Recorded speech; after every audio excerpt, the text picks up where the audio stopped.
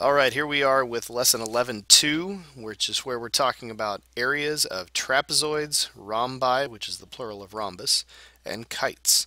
And now, we are really just dealing with two formulas, as we'll explain in a second. We have the area of a trapezoid formula, 1 half the sum of the bases times the height, base 1 plus base 2. We want to basically find the average base times the height. That's how we're doing that. The area of a rhombus then uses this formula, and we'll look at kind of why this formula exists a little bit in class, but right now this is the formula you need to use. Half of diagonal 1 times diagonal 2.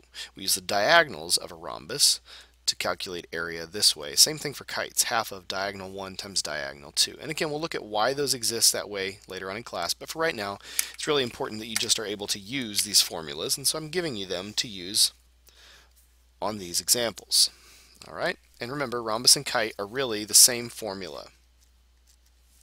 All right, so let's try example one. Now this is um, an example where I'm going to help you set this up, but for the most part, you should be able to do these calculations, then you can check your answer. So we're going to go through example one pretty quickly. Remember that the area formula for this shape, this is a trapezoid, is this formula. So I want you to go ahead and write it in again.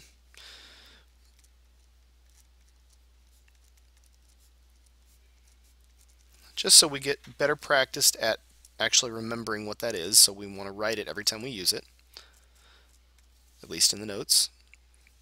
And then we can start filling these in. Now, these two parallel sides of a trapezoid are called the bases. So base 1 can be your 25 feet, and base 2 can be your 30 feet. It really doesn't matter which one's which. You could flip those because you're just adding them so the order does not matter. And then the height is your 11 feet. And so all we have to do is plug this in.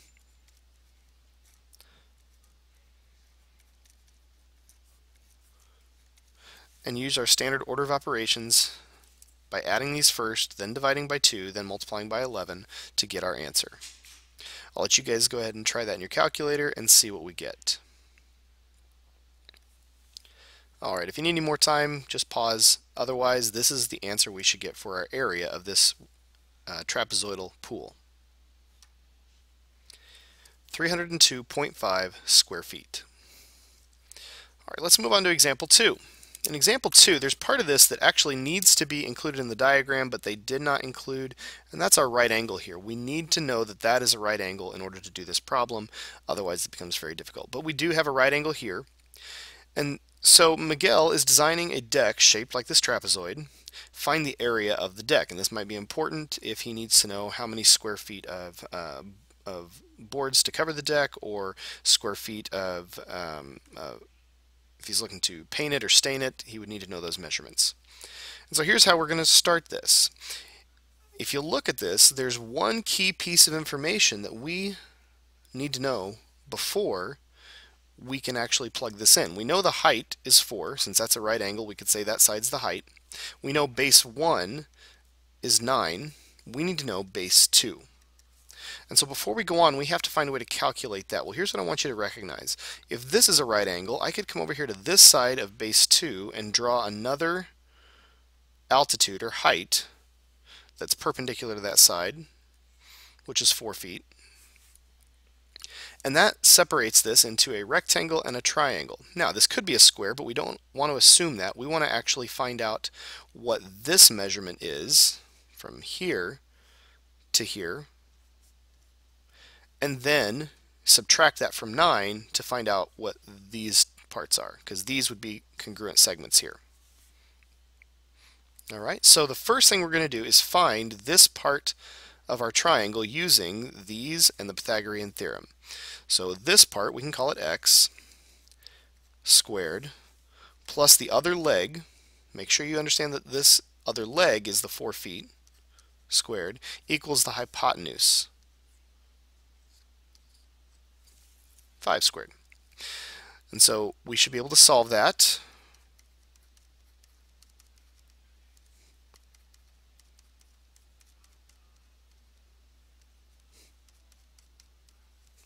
and we get that x is 3. That means this portion of that base is 3. If the whole thing is 9,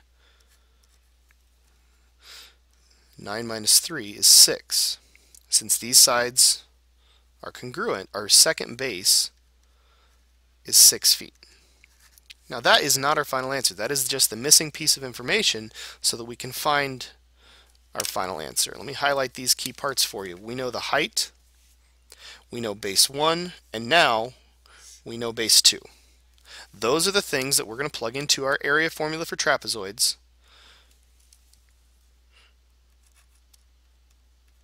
Like so.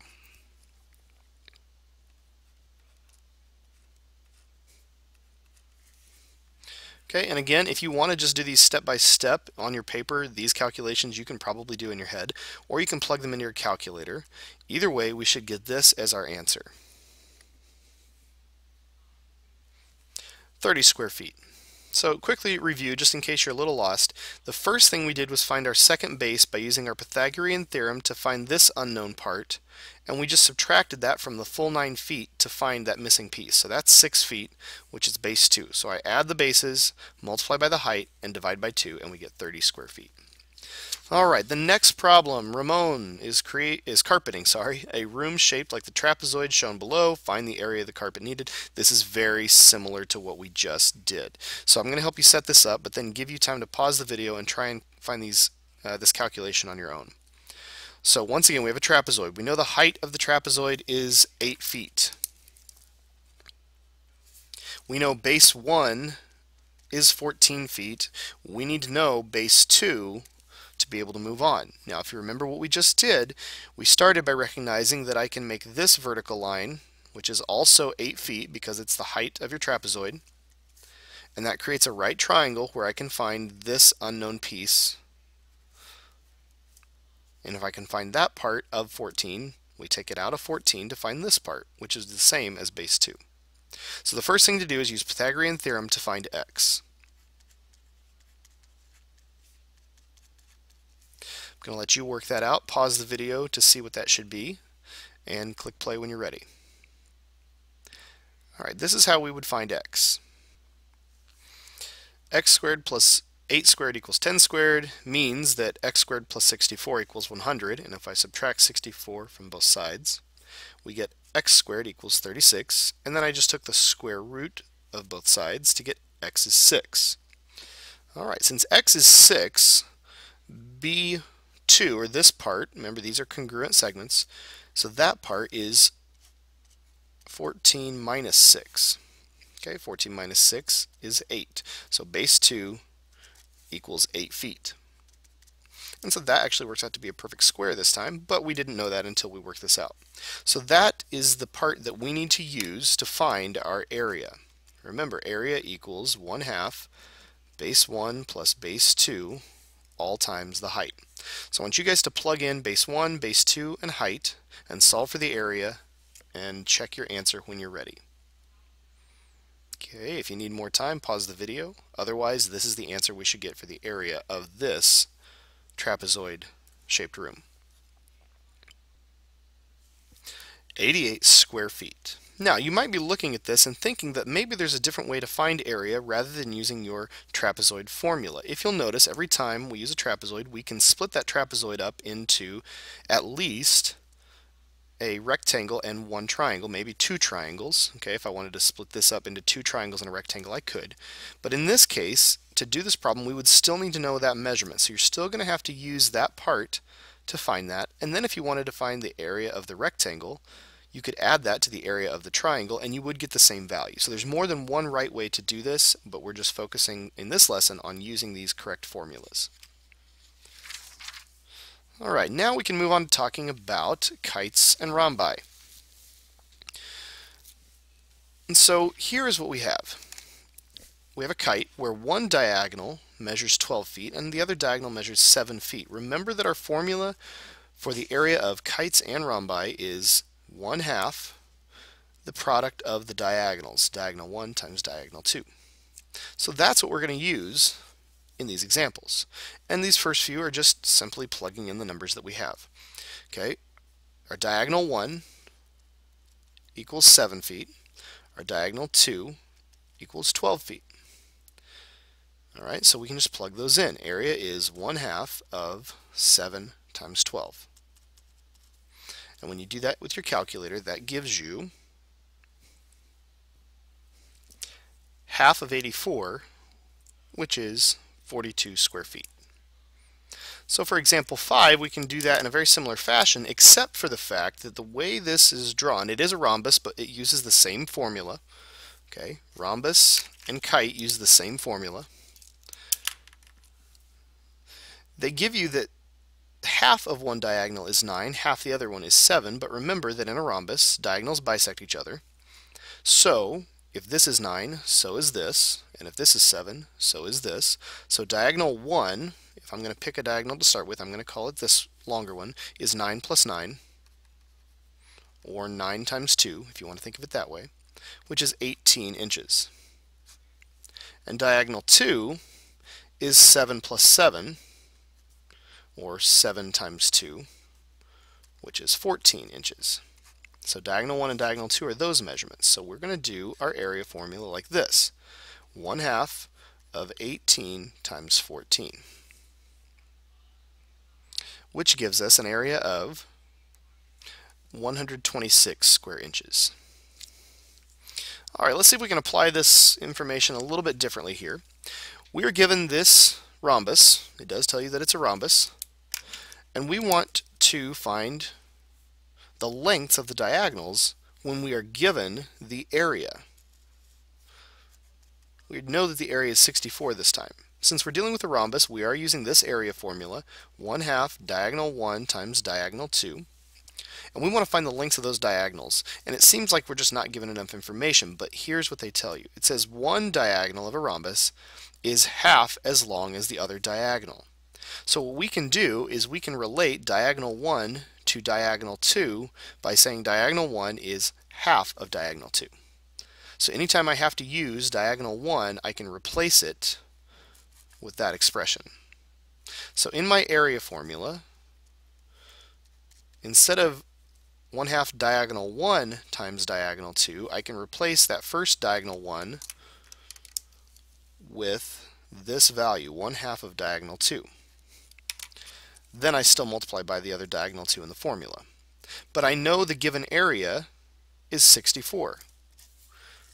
So I can replace area with the value of 64.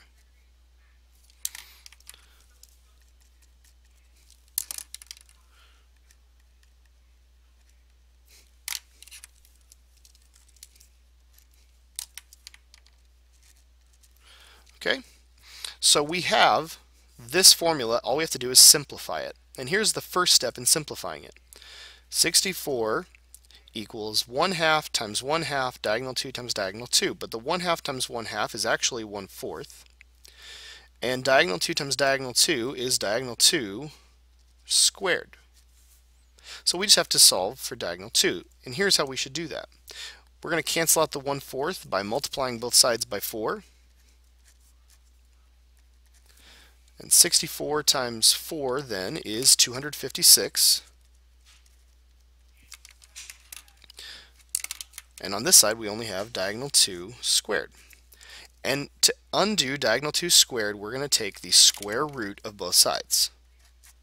So the diagonal 2 is the square root of 256, which is 16. So diagonal 2 is 16, and it said that diagonal 1 was half of diagonal 2, so I'm just going to go back up here, and diagonal 1 is then 1 half of the length of diagonal 2, which is 16. Half of 16 then is 8. And these are measured in, the area was measured in square inches, so our diagonals are measured in inches. Diagonal 1 is 8 inches, diagonal 2 is 16 inches. Now, you could have these flipped. Depending on how you do the problem, you could have actually had those switched. Either way, it'll still work out with these two numbers for your diagonals.